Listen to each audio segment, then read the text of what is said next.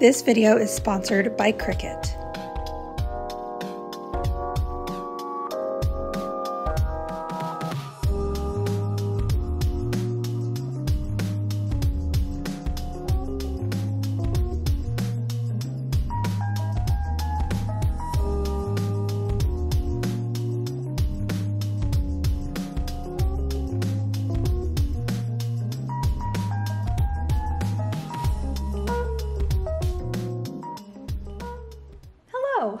Don't mind me, we're just crocheting, hanging out.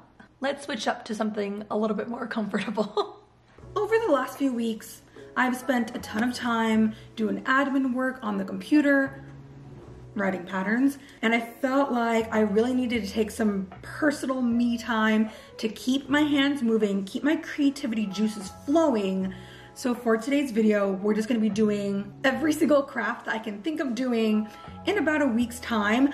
I just have this like super urge, super intense urge to create and get colorful. So on the checklist of things that I want to get done this week crocheting, writing new patterns, of course, for the crocheting. I also plan on doing a little bit of handcrafting to make some exclusive limited edition merch. The fourth major thing on the list is to dye up some more really fun, funky colors. With fall coming up, I want to have the fall colors, the warm palettes. We have our hands full, as expected, as planned, pretty much as I have envisioned this whole video to go. So we're gonna start off by continuing with an oldie but a goodie. Now you guys have seen me make this pattern, a previous tutorial pattern on my channel, but since I'm trying to like write actual patterns, PDFs that you guys can download, I needed to remake. Here's what we've got going on so far. Crazy, very, very different palette than what I'm used to. I mean, just check out these colors. And then I started to get a little bit, a little bit too rainbow here at the bottom, but we're just gonna proceed. I'm gonna get as much done today as I can, and then we're gonna come back tomorrow, tap back in, and reassess how the pattern is going.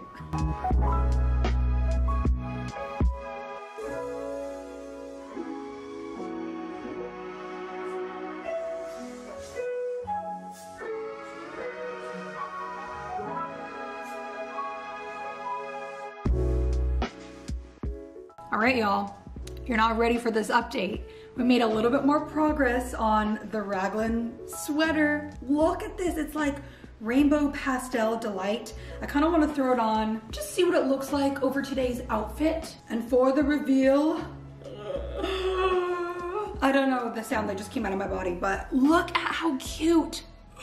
Look at this, I'm geeking out. I would love, honestly, to keep it at this length, but this is the progress. This is what we got so far. I'm gonna have to keep crocheting and then we'll check right back in. Say hi, Mr. Mo. Hey, baby boy. Mowgli said he wanted to come in for this portion of the video. Say hi. Oh, God. As you can see, we're wearing the crafter sweater today because we're about to do some DIY crafts here at home with the help of today's sponsor, Cricut. I'm gonna show you guys how to make some really fun at-home DIY projects that you guys can implement if you guys wanna make Christmas gifts early. I know it's September, but we can always get a run on it quick and easy. So the two different projects that I'm planning on making today, first up, I picked up a tote bag. Now, it's not your everyday tote bag. She's actually, she's a sling so we can keep our hands free. So we'll be using the Easy Heat Press to press on some vinyl. And then for our second project, I thought it'd be really fun to place some sticker decals onto a very gorgeous glass iced coffee cup. As we all know, coffee is a staple here on the channel. So let's go ahead and dive into the projects. I'm gonna open up the Cricut program and show you guys how I'm gonna make these decals. So with the Cricut Design Space, there's two ways that you guys can make projects. The first way is that you can upload your own preloaded image illustration design, or the second way is that you can browse through Cricut's entire library of fonts, designs, and I think that's what I wanna do for the first tote bag. I've already gone ahead and bookmarked a few different designs I was interested in using, but I'm kind of sold on the few that I have down here. So this first one says, I'm hooked on crochet. We gotta keep it crochet themed. We also have handmade with love. I'm kind of leaning a little bit more towards this one. So let's go ahead and click on this and add it to our canvas.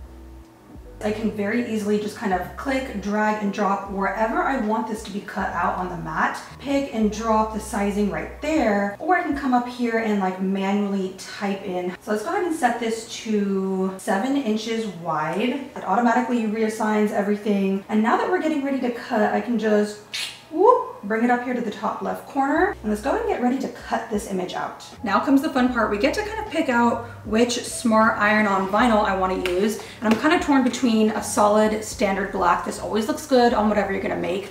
But Cricut also sent over we got a holographic vinyl and y'all know me, we need the color, we need the pizzazz. So I think I'm gonna do one in one, test them both out and show you guys how they're gonna apply. Y'all look at this material, this is crazy. This is crazy.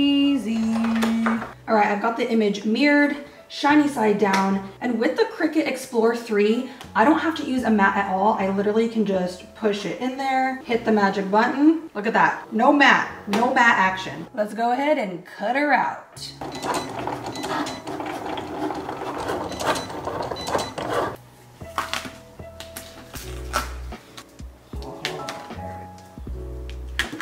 And now using the Cricut Heat Press app, I'm just gonna hit start a new project select my transfer material, and at this point the app is going to tell me exactly the temperature and how long I need to press it for.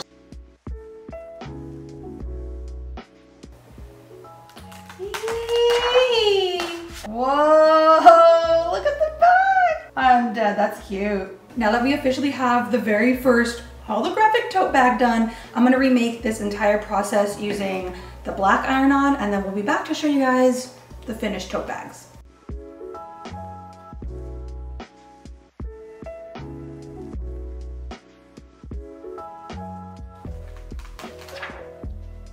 Now it's time to progress to the coffee cup. So for this next design, I wanna add on my own text and like my own cute little phrasing. Coffee, crochet, can I type? Repeat. And I feel like this is gonna look really cute, but I kind of wanna change up the font, find something a little bit more unique. So I think I'm gonna decide on this font, really cute. It's got little hearts, kind of bubbly. And then now I need to go back and resize this We finally get to use some transfer tape, so I'm just gonna peel off this bad boy and stick it directly on top of our design like so. And now I can use my little spatula and just make sure everything is pressed on. Look at that, all of the words finally transferred off and now we can place this onto our cup.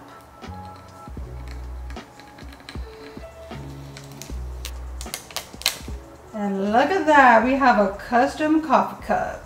So she's looking cute, but she's a little bit basic. So I'm gonna go in for very last finishing touches, add on some little cutout flowers and stars using some very bright, vibrant colors just to help jazz up the rest of the cup.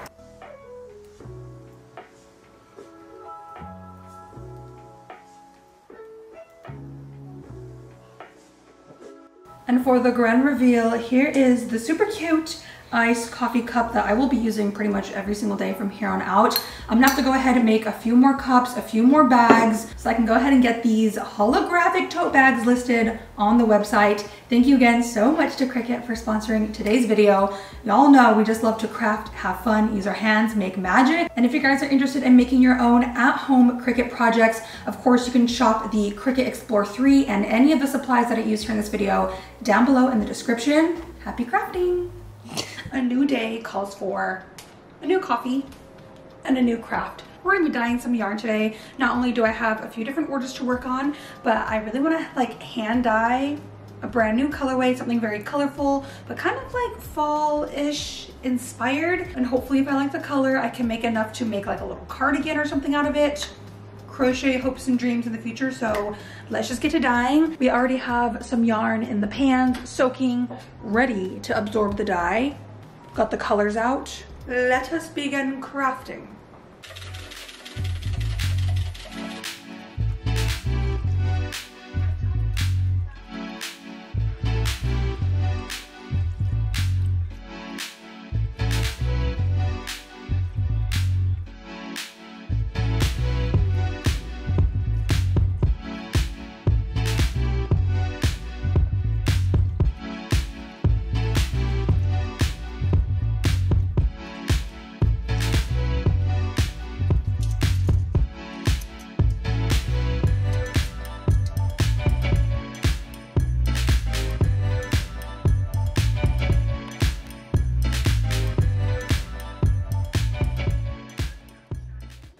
Now that I have the orders dyed up, I wanna take a little bit of time to dye up that brand new colorway. So we're just gonna start throwing some new colors in the pot. We're gonna get a little bit deeper, a little bit darker, still multicolor. Think rainbow fall or something like that. I don't know. We're gonna figure out as we go.